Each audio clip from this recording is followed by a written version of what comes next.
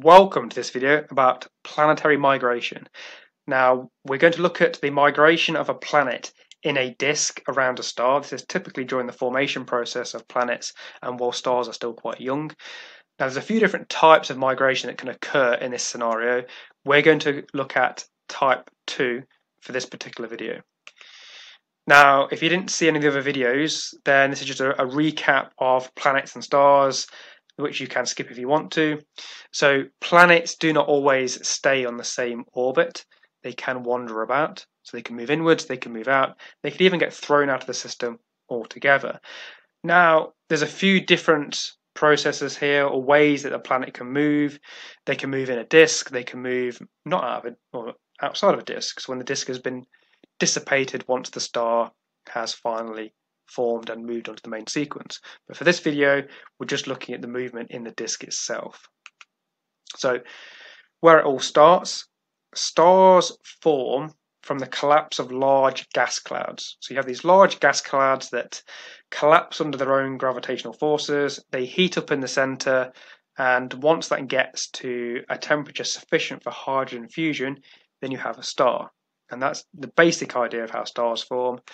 Whilst that's occurring, you get a disk of gas and dust around the star, and it's there that the planets get chance to grow. So the planets form in these disks, whilst the star is still a, still young.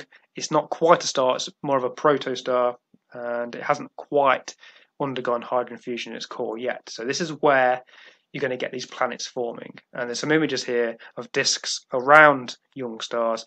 Some of them may already have planets, some of them may just be forming planets, but we can't actually see them, but we can see some of the interactions that they're doing causing gaps.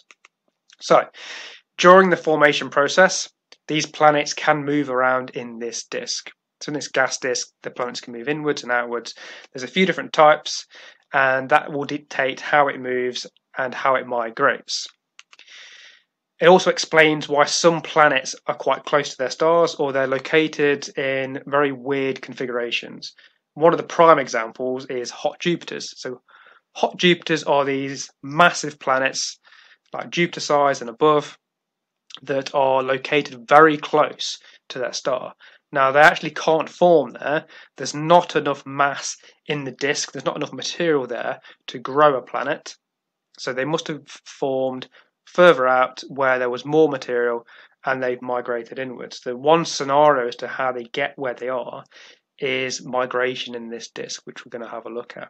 So typically wouldn't form where we see them now. So three main types of migration in one of these disks. Type 1 concerns small planets. When I say small, we're looking at like terrestrial planets, Earth size, Mars, that sort of size planet. And then you have type 2. Now, once they get to a certain size, they're big enough and they create a gap in that disk. So that's type 2.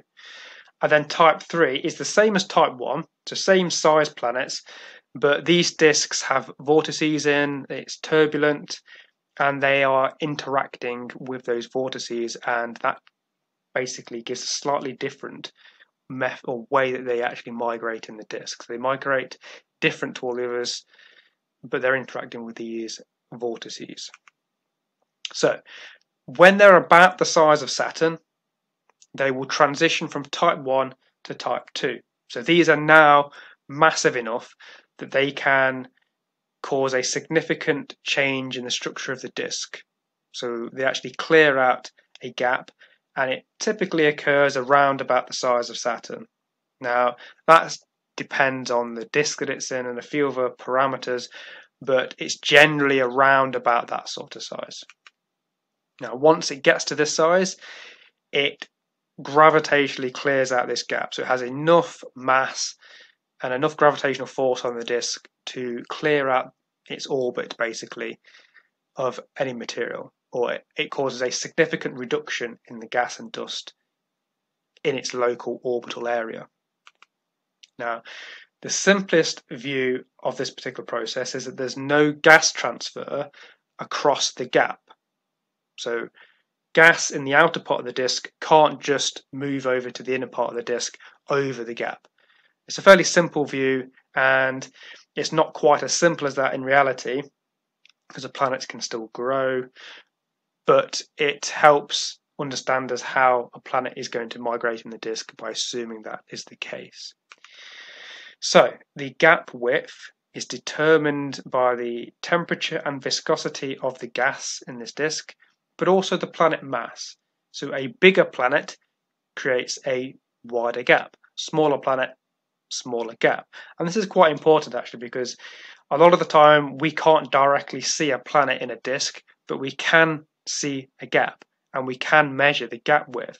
So if we can measure that gap width, we can infer the size of a planet that would be there. So we could indirectly detect a planet by looking at the distortion it causes on the disk. Now, that's interesting because when we go to Saturn's rings, moons do a very similar thing. So in Saturn's rings, there are a number of moons that are located inside the ring itself. So they're embedded in the ring, and these actually cause a gap in the same way that a Saturn sized planet might cause a gap in a disk. So they have enough mass that they can gravitationally clear out material in its orbit. And it's the, the gap width is proportional to the moon mass. So a bigger moon causes a bigger gap, smaller moon, smaller gap. So even if we can't see a moon there, we could work out its approximate mass. And that is true for planets in these disks as well. We typically can't see the planet because they're so far away. But the gap width is a really good indicator to how big a planet might be. Now, how does it actually migrate in the disk now that we know that it creates a gap and a few other things? Well, the planet is going to migrate with the viscous evolution of the disk. So, what does that mean? Well, it's a disk of gas and it viscously spreads. So it spreads outwards and it spreads inwards. The inner part of the disk spreads towards the star and is then accreted, so, or it falls onto the star and the star continues to grow in size.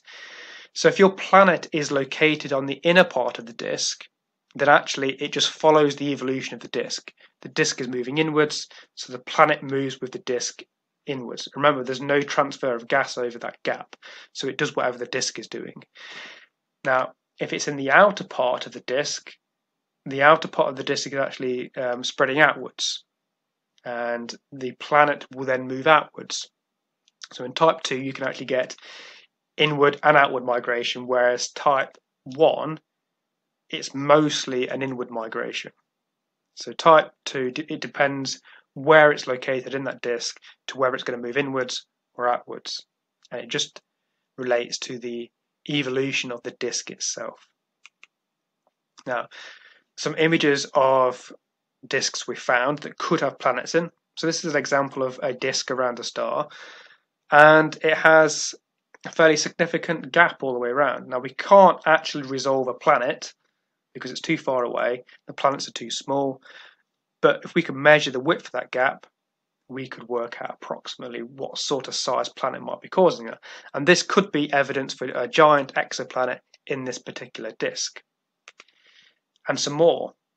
So these are some more disks around stars that could indicate that there's planets there. Now again, we can't directly see the planets, but we can see that there are gaps there. There are rings which are going to be gravitationally shaped by unseen planets. So we could investigate this and work out approximately what sort of size planets are causing this, how many planets would be required to do this. Now, it's worth noting that actually these gaps, rings, are not always caused by planets. It's a good indicator that there might be a planet there, but there are other processes that don't require a planet that can cause a similar effect in these gas disks, which is worth noting but again, it's the it's one of the best explanations we have for these hot Jupiters, as we mentioned earlier on.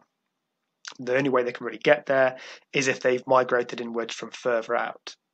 Um, that's one of the reasons why we think this is a you know one of the processes for changing the orbit of these large planets.